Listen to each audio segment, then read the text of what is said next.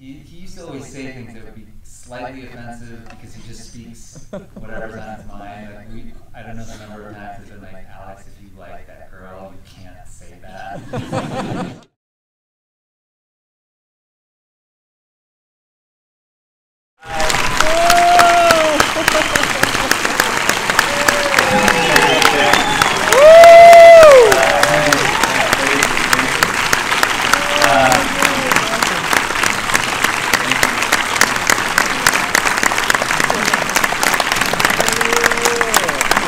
amazing. Uh, we are, well, I'm Jimmy Chin and I'm one of the directors of the film. Thank you so much for coming out. Uh, it's just wild to see, I mean, we're in our 21st week of release and to see like a full theater makes my heart very happy. So I really appreciate y'all coming out. Uh, I thought I'd come and answer some questions if you had any and do a quick Q&A with everybody. Uh, I'm sure somebody's got questions, so we can just start start shooting. Uh, yes.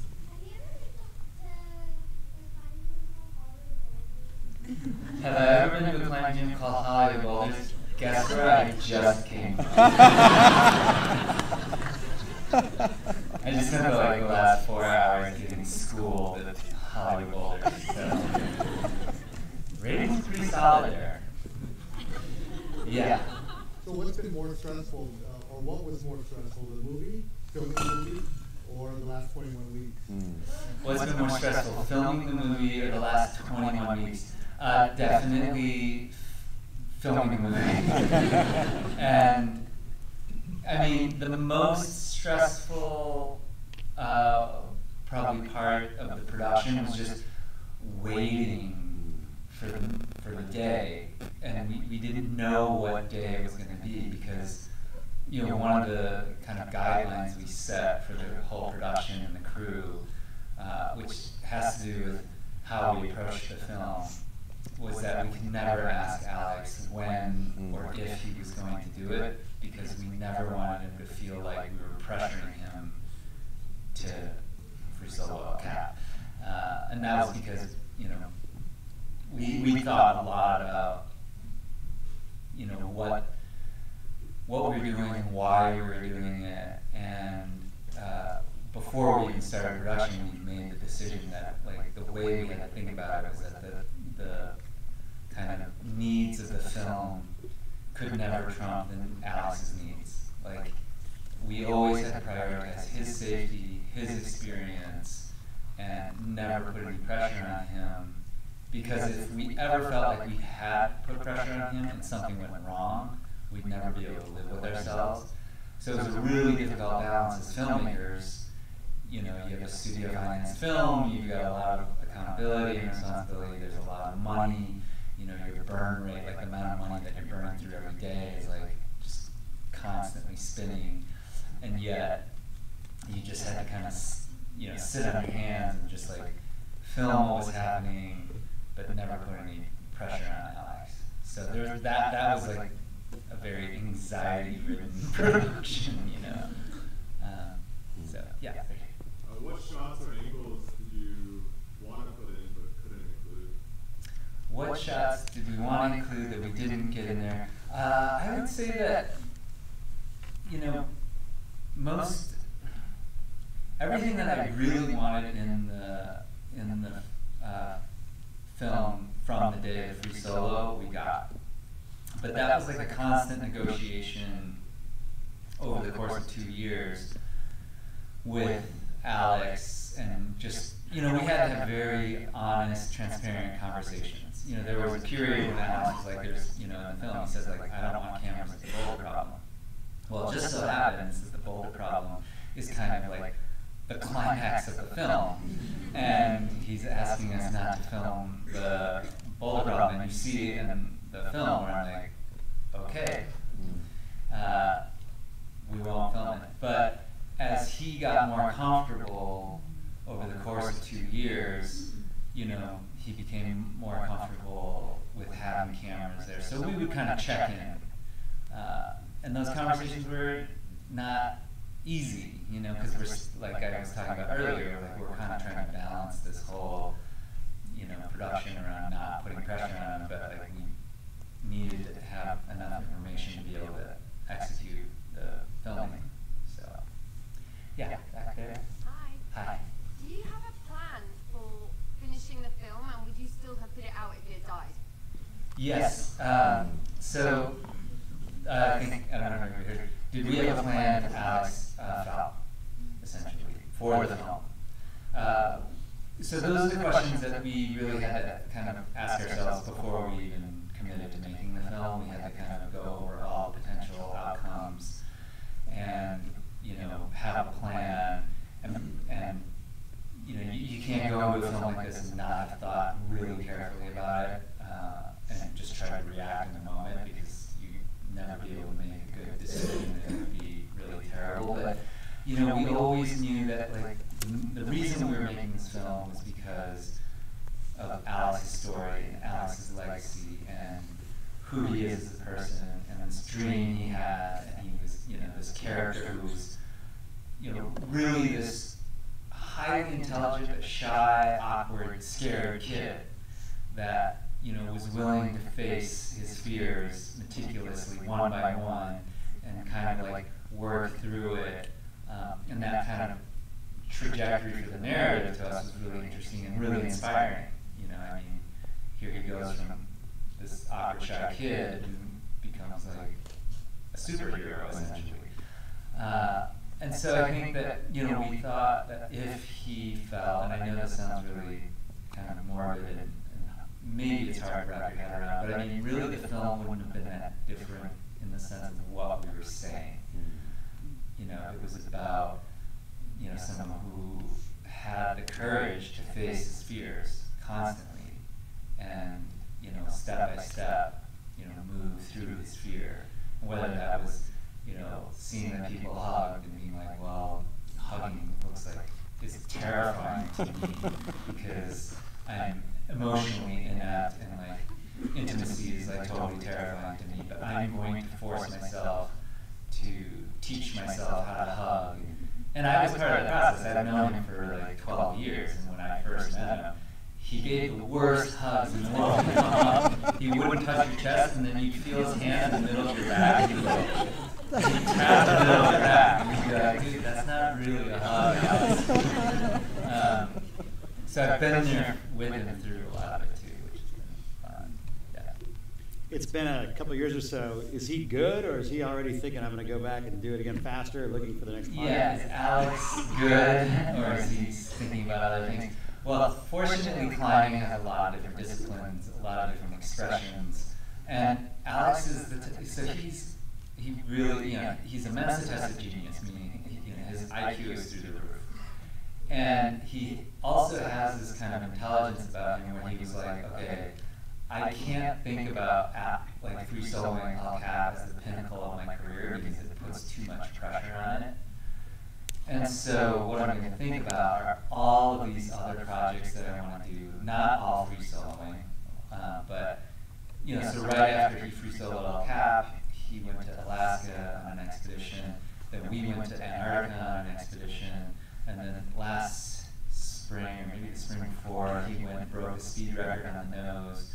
So he already planned all these other things so that there was a continuum of things to do.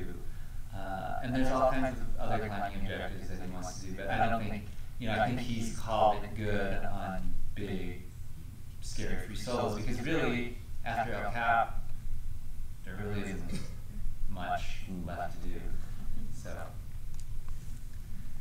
yeah, you hear. What's your favorite part of the movie? What's my favorite part of the movie? See, I love questions from uh, kids because they always cut straight to the. Um, my favorite parts are I have some favorite shots. Uh, the traverse ditch at the top, like there's different parts for me that are favorites. Like there's parts that I, I love because of like the technical shooting aspect of it. And so like the traverse ditch on uh, on the final day were really hard to get, and, and we nailed them exactly like we wanted to. But of course, the boulder drop shot, like when he finishes the karate kick, because those were remote trigger cameras, so we didn't know we had gotten it. And so when we finally got everything like ingested with our digital tag, we finally got to sit down and look at it, and we watched the footage of him doing the boulder problem, which we've been imagining for three years. And then we were like, we got it in the can. then that mid moment when he turns over and he looks at the camera and he's like, yeah. Like, I fell out of my chair. I was like, ah! It was amazing. Um, but the other parts of the film that I really love, and I think that really give the film like the emotional depth and the narrative, like a, like a strong narrative, is those moments in the van where Alex and Sanni are having like those really difficult conversations. And that verite filming, you know, filming in the moment where nothing's constructed, you're just there. I mean, that's really hard to get those those kind of critical moments. And there's that scene when Alex is going to solo, he's kind of, you know, fuddling around with his stuff in the drawer. The camera's kind of panning back from him to Sanni, and she's like, "Who are you climbing with tomorrow?" And you, as the audience, know he's going, and Sanni doesn't. I think those moments are like really priceless to me. So, uh, yeah, yeah. Um, yeah, I, I, uh, I saw Meru and enjoyed that immensely. I enjoyed this immensely, and not to like, better or worse. But any thoughts or comments on similarities or differences between Meru and this from a filmmaker standpoint? Yes, uh, so he's commenting about Meru, which is a previous film that uh, I made and um, if there was any similarities or differences in these, uh, in the making of these two films. Actually, I'm just out of curiosity, how many people have seen Meru? Oh, that's pretty good. Um, how many people have actually already seen Free Solo?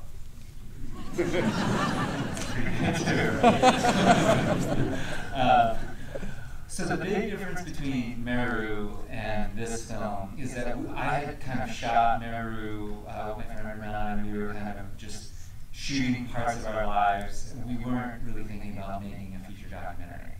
And then we kind of went back pieced it together, went back and reshot all these interviews, and, and built that film. And that narrative is, you know, if you've seen the film, it's, it's very Shakespearean. You know, it's like it's got some plot twists, and it's just um, and it's very close to my heart because it's about my mentor, Conrad Anker. But this film, we went in with very clear what kind of film we wanted to make. You know, we knew that we wanted to make a really strong cinema verite film, meaning like filming in the moment.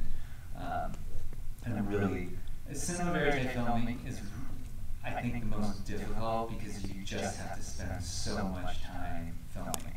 You just have to be there. You never know you know, when a moment's going to happen, so you're kind of constantly filming, and it's it's a it's a long, arduous process, but it does provide these very real moments, which brings you into the film. You know, that's that's when you kind of really experience it, and you're along for the ride when you have a good film. But um, so that's kind of, kind of the main difference. You know, we, we knew what kind of film we wanted. I had a lot of plans and like how I wanted to shoot it in a way that was really pushing the kind of cinematography that I've been doing for 20 years and know take it as far as I possibly could. And so I had some time to really think about how I wanted to do it, and then we were able to execute it. So that's the main difference.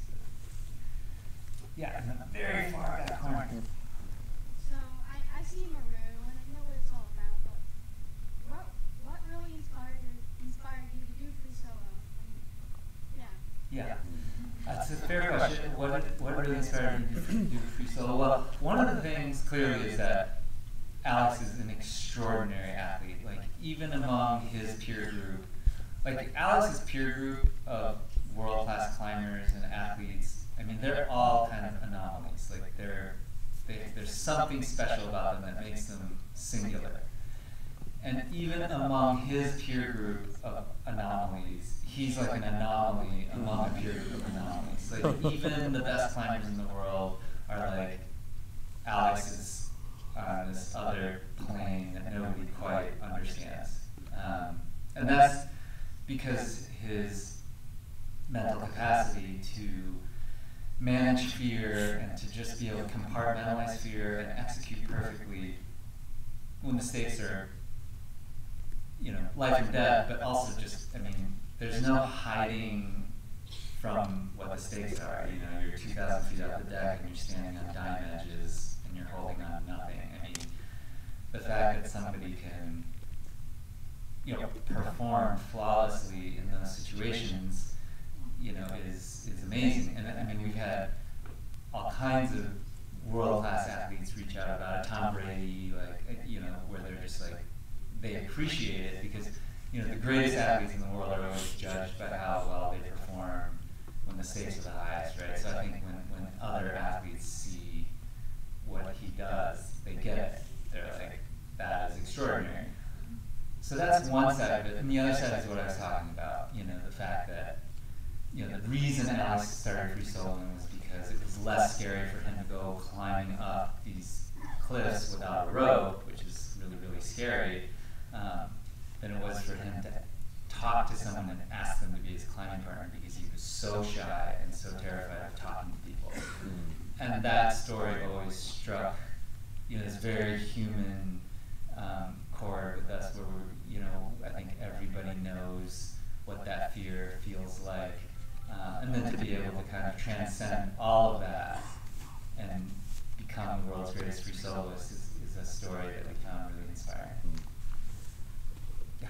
Is there any plan to release the footage of the entire three hours fifty six minutes? Because I'd I'd love to watch Yeah. that.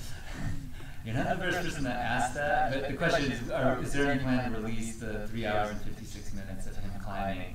Uh, there isn't, but like, I mean, every week, there's been so many people that ask, we're like, hmm, maybe we should re-release that, I don't know. Uh, I think it would be boring, I mean, most of the best angles that we shot, you have seen. Because we literally, over the course of two years, shot with him practicing on the climb, and we were like dialing in exactly how are going to shoot all the kind of critical pitches that were important to the narrative. So like the Freeblast, the boulder pitch, the enduro corner. Um, those are really important to the story. But it's a 3,000 foot wall. We couldn't put 60 filmers on it, so the, there's only one. There's only two cameras that were shooting the entirety of it, and those were on the ground.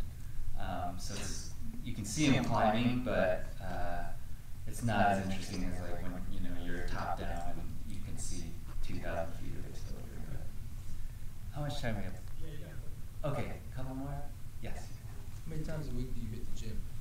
How many times a week do I hit the gym? I ne- I used to never hit the gym because I used to just go climbing and skiing, and that was climbing because you spent like six to eight hours on the mountains and you just get really fit. But on the last five, six months in tour, you know, Alex and I go to every climbing gym in every city, um, like pretty much every day or every day we're not traveling, uh, just for our sanity. 'Cause we're used to being outside, hanging out in Yosemite, and now we're flying between London, New York, and LA, like pretty much nonstop for five months. But Mm.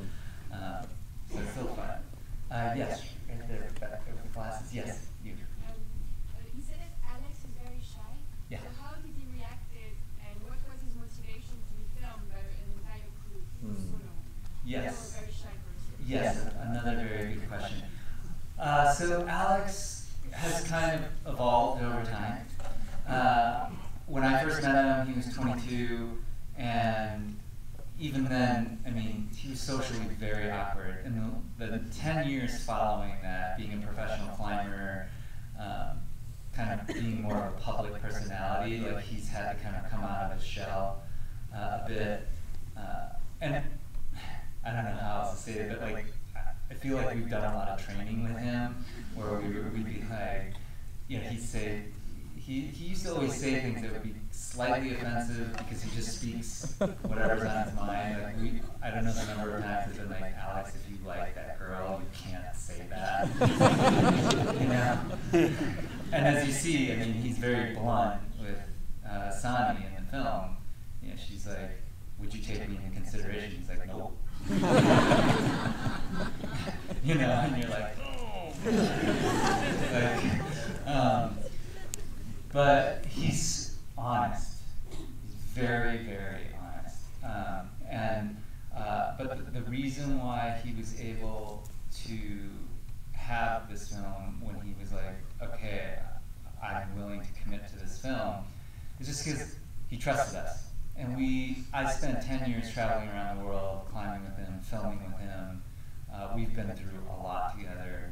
Uh, he loved Meru, and I think he, you know, when I was like, look, I think we can make a good film and an honest film about you that's not going to be sensationalized or, you know, put all these kind of normal preconceived notions that other people from the outside of climbing always put on to climbers or adventurers, you know, oh, they're super risky, and you know, he knew that I understood it, and he also trusted Chai, my wife, as a filmmaker, and so he basically committed uh, and said, yeah, uh, let's do it. And once he commits, as you can see, he commits fully, and so, you know, when we were in the car with him, and he's having these like very uncomfortable, intimate conversations with his girlfriend, you know, his rationale and I'm only saying this because I've heard him answer this question, that I trust Jimmy and Chai. If they feel like they need to be here, they're the filmmakers. I'm just going to do whatever I'm doing.